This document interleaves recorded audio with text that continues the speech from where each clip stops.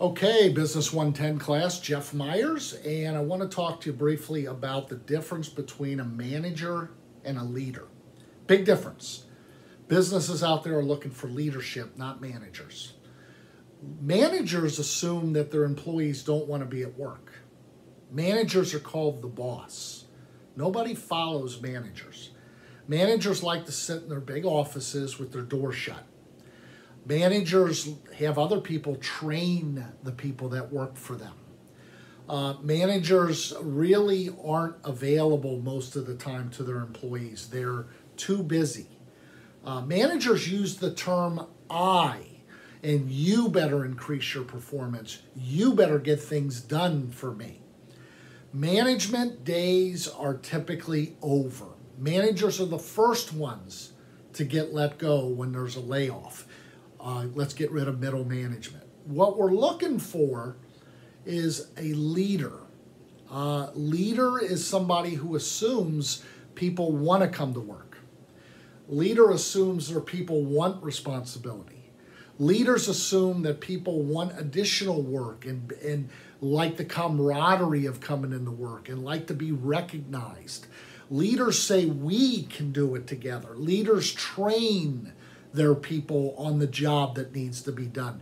They show the people that work for them that they can do this job. Uh, leaders are typically the ones people follow. Leaders don't sit in their office all day.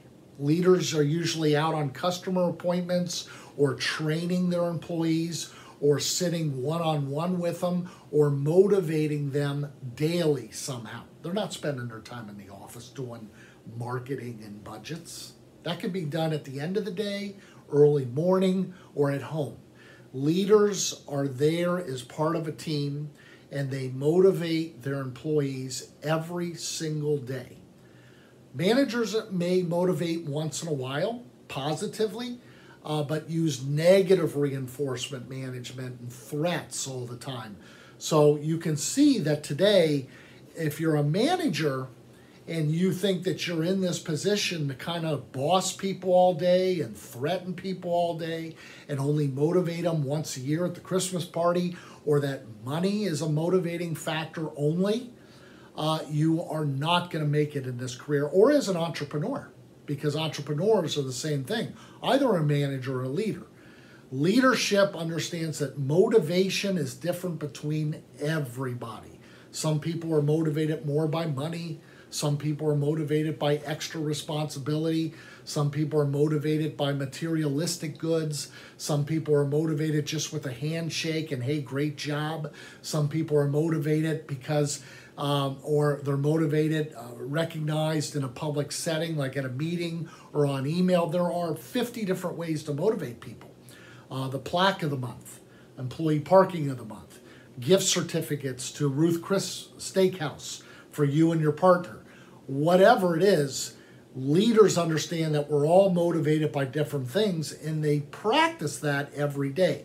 Managers think that money is the only motivation and therefore they give out a bonus uh, at the Christmas party or at the quarterly um, uh, meeting or whatever. So, the huge, huge difference between leadership and management. And motivation is really tied to success with businesses. So I just wanted to kind of go over that briefly, and I'll probably speak a little bit more about motivating techniques in the next video, but it's really important that you understand the differences between what a leader is and that of a manager. Take care.